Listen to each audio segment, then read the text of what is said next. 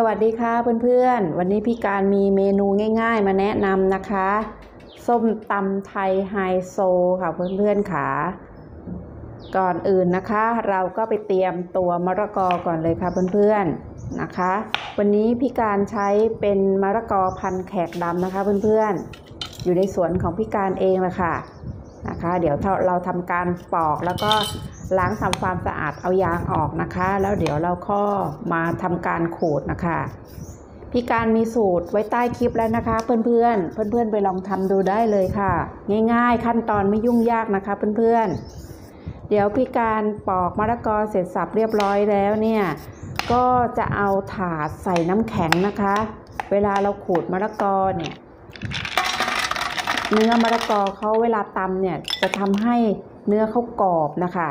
อร่อยค่ะเพื่อนๆนะคะพี่เอาพี่การเอาน้ำแข็งใส่ถาดนะคะ แล้วก็ทำการขูดได้เลยค่ะ จะใช้เป็นแบบเฉาะก็ได้นะคะเพื่อนๆค่ะ แล้วแต่ชอบเลยค่ะ ชอบชอบแบบเฉาะก็ก็เราก็เฉาะนะ แต่วันนี้พี่การใช้ขูดเอานะคะ ใช้เครื่องขูดขูดนะคะเนี่ยค่ะ เราใส่กับน้ำแข็งนะคะ มะละกอเขาจะกรอบขึ้นมาทันทีเลยนะคะ เวลาทานจะอร่อยมาก วันนี้พี่การจัดแบบแซ่บๆเลยค่ะเพื่อนๆค่ะเมนูชวนหิวเลยค่ะเพื่อนๆอ่าเนี่ยค่ะ แล้วก็น้ำแข็งวางไว้ข้างบนนะคะ เพื่อนๆ แล้วพักไว้ก่อนนะคะ ต่อไปนะคะเราก็ทำการบีบมะนาวเลยค่ะ หั่นมะนาวนะคะ แล้วก็บีบใส่ถ้วยไว้นะคะ มะนาวก็วันนี้ก็มะนาวในสวนของพี่เองเหมือนกันนะคะ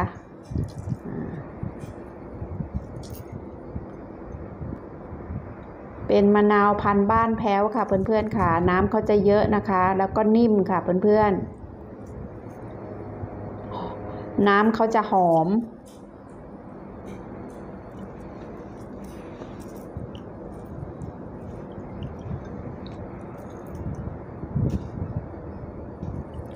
เราคั้นมะนาวเสร็จสับเรียบร้อยแล้ว แล้วก็พี่การก็พักเอาไว้ก่อนนะคะนี่ค่ะได้น้ำแล้วในน้ำมะนาวแล้วนะคะ ต่อไปนะคะเราก็ทำการมาหั่นมะเขือเทศนะคะ วันนี้พี่การใช้เป็นมะเขือเทศพันธุ์สีดานะคะ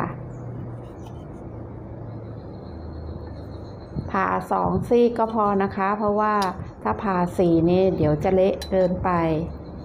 จะตำแล้วมันจะแหลก ออกมาแล้วมันจะไม่สวยนะคะเพื่อนๆ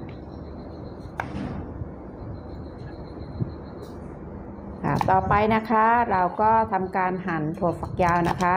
พี่การล้างทำความสะอาดเสร็จสับเรียบร้อยแล้วค่ะ หั่นแล้วก็ใส่ถ้วยเอาไว้นะคะเพื่อนๆวันนี้พี่การไม่ได้ใช้ถั่วลิสงนะคะ จะทำแบบไฮโซเลยค่ะ ใส่เม็ดมะม่วงหินมะพร้านแทนค่ะ เป็นสูตรส้มตำไทยไฮโซนะคะเพื่อนๆนะคะเสร็จสับเรียบร้อยพักเอาไว้นะคะเครื่องปรุงก็มีนะคะพริกขี้หนูกระเทียมมะเขือเทศ เม็ดมะม่วง กุ้งแห้งตัวใหญ่ น้ำปลาน้ำตาลมะนาวนะคะ เพื่อนๆ ที่ขาดไม่ได้ก็ตัวมะละกอเนี่ยค่ะ เอาพริกกับกระเทียมนะคะ ใส่โคกนะคะตำให้แหลกค่ะเพื่อนๆ ชอบเผ็ดก็ใส่เยอะนะคะ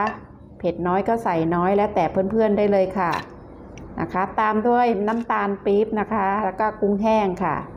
ถั่วฝักยาวนะคะ ใส่ลงไปนะคะ ขั้นตอนนี้เราตำแค่บุกบุกพอนะคะ ไม่ต้องแหลกนะคะใส่น้ำตาลปี๊บลงไปค่ะ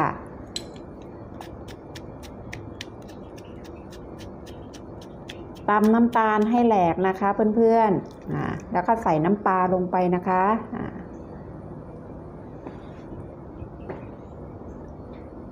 ามด้วยน้ำมะนาวค่ะสี่ห้าช้อนใส่ลงไปได้เลยค่ะเพื่อนๆ ชิมเอาตามชอบนะคะเพื่อนๆ ชอบเปรี้ยวก็ใส่เยอะนะคะ ชอบหวานก็เติมน้ำตาลไปเพิ่มรสได้ตามชอบเลยค่ะนะคะคลุกเคล้าให้เข้ากันนะคะ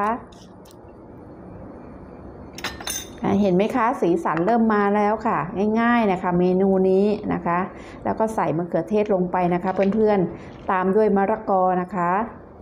ค่ะ เราจะใช้แบบบุบๆนะคะ เพื่อนๆไม่ใช่ตำแหลกนะคะ นี่มะละกอแช่เย็นไว้นี่จะกรอบมากเลยค่ะ เวลาทานนะคะ เห็นไหมคะสีสันน่าทานไหมคะเพื่อนๆค่ะกุ้งแห้งของพี่การนี่ก็ตัวใหญ่มากค่ะเดี๋ยวเราก็จะทำการโรยด้วยเม็ดมะม่วงหิมพานต์นะคะ เพื่อนๆคลุกเคล้าให้เข้ากันก่อนค่ะเพื่อนๆคะค่ะ